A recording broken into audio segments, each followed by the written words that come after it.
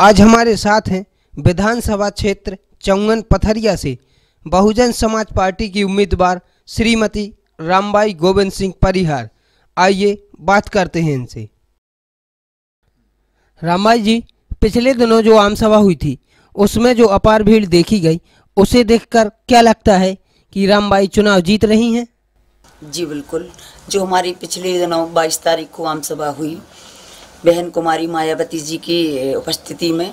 तो जो आम सभा हुई, उसमें ना तो कर्मचारी थे, ना ही उसमें आशा कार्यकर्ता थी, ना कोई पैसों से बुलाई गई जनता थी। वो दिल से, स्वयं अपने खर्चा से जनता उपस्थित हुई थी हमारे इस कार्यक्रम में। तो आज उस जनता को देख के मैं ही नहीं, पूरी पथरिया विधानसभा की जनता एक ही बात कह रही कि इतनी बड़ी सभा आज तक ना कभी हुई है, ना हो सकती है। तो ऐसा इस इस सभा को देख के ऐसा लगता है कि रामबाई विधायक बन रहे किसानों के हितों को लेकर आपकी दबंगई के चर्चे होते आए हैं और सुनने में आया है कि आप कई बार जेल भी गई हैं। तो क्या माना जाए ये सिलसिला जारी रहेगा या थम जाएगा? ये थमेगा नहीं बढ़ेगा।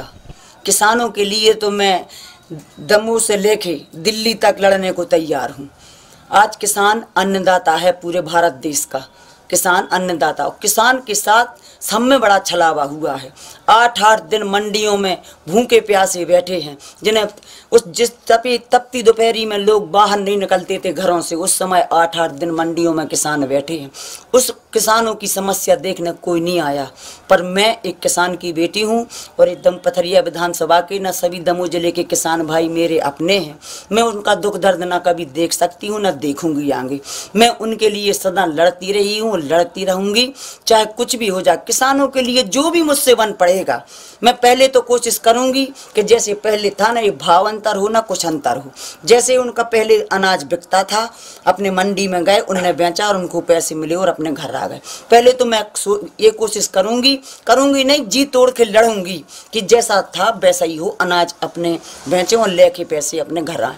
हम जन किसानों को मैंने देखा है कि आज कभी, अभी आज चना बेच रहा है और छः महीना बाद पैसे मिल रहे किसानों की समस्या और पीड़ा कोई समझ नहीं सकता। उसे समझने के लिए उनके बीच में जाना पड़ेगा। तब उनकी समस्या समझ पाएँगे लोग। कोई भी नेता है तभी समझ सकता है। रामबाई जी हम आपसे ये जानना चाहते हैं आप समय समय पर बेरोजगारी को लेकर बात करती हैं। इस समस्या से निपटने के लिए आपकी क्या योजना है? हमारे मन में बेरोजगारी को खत्म करने के लिए ये योजना है कि जैसे आज फैक्ट्री है, जैसे माई सेम फैक्ट्री है। तो माई सेम फैक्ट्री जो है अपनी तो उसमें जो बाहर के लोग लगे हुए हैं, कहीं भी कर रहे हैं तो वो तो ठीक है। लेकिन आज पथरिया विधानसभा में जो फैक्ट्री है तो पहले तो दमो पथरिया विधानसभा के लोगों को नब्बे परसेंट मौका मिलना चाहिए नौजवानों को, पढ़े लिखे लोगों के लिए।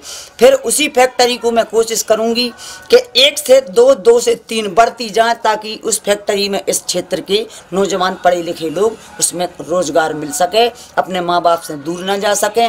और रोज़गार के लिए इनके आगे चल के मैं और भी कोशिश करूँगी कि इनके लिए क्या व्यवस्था कर सकती हूँ कि जो अपने परिवार से दूर ना जाए और अपने ही घरों में रहें, अपने परिवार के साथ रहें। रामा जी किन किन मुद्दों को लेकर आज आप जनता के बीच में वोट मांगने जा रही हैं।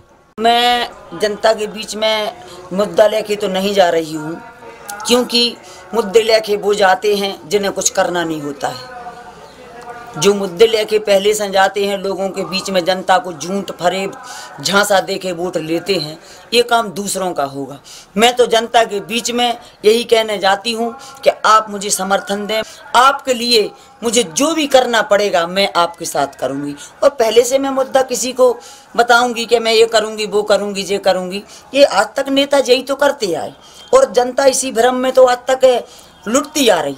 पर मैं जनता को अपनी पथरिया विधानसभा की जनता को तो मैं नहीं लुटने दूँगी, ना छलने दूँगी। पथरिया विधानसभा की जनता के साथ अब कोई गलत काम नहीं होगा। उनके साथ बराबर न्याय होगा। और जो भी मुझसे उनके साथ बन बन पड़ेगा, मैं उनके लिए जी तोड़ कोशिश करूँगी। जो भी उनकी समस्याएँ हैं, कैसे उनको हल किया जाए, वो मैं करूँगी।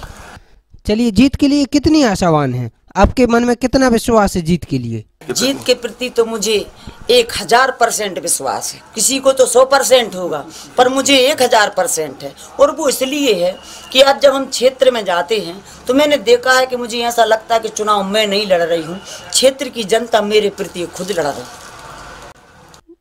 चलिए बहुत बहुत धन्यवाद। आपने अपना अमूल्य समय दिया।